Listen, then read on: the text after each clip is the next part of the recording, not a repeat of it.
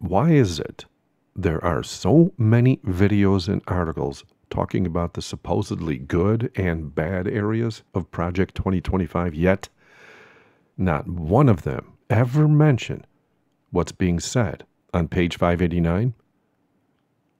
It's because that section is the harbinger of the bill that will soon be introduced that restricts buying and selling of all people that refuse to bow to the Vatican's spurious Sabbath of Sunday.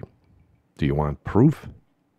See this video I made years ago about the mark of the beast, and then check out this new track titled Billions Will Soon Blaspheme the Holy Ghost. Thank you for watching. God bless.